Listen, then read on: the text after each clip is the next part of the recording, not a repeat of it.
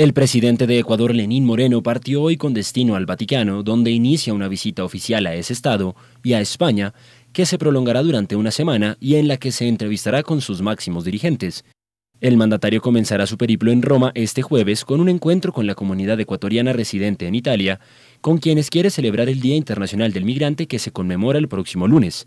La primera gran cita será el sábado a primera hora, la audiencia con el Papa Francisco, al que presentará una iniciativa de conservación amazónica que promueve su gobierno en favor de la naturaleza.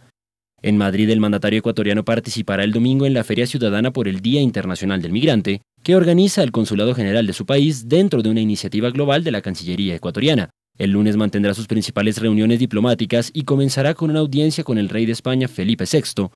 una reunión con el presidente del gobierno español Mariano Rajoy, la cual está agendada pero no confirmada, y un encuentro con estudiantes ecuatorianos en la Universidad Complutense de Madrid. El martes el mandatario ecuatoriano participará a primera hora en el Foro Líderes, organizado por la agencia EFE, y luego se reunirá con la alcaldesa de Madrid, Manuela Carmena.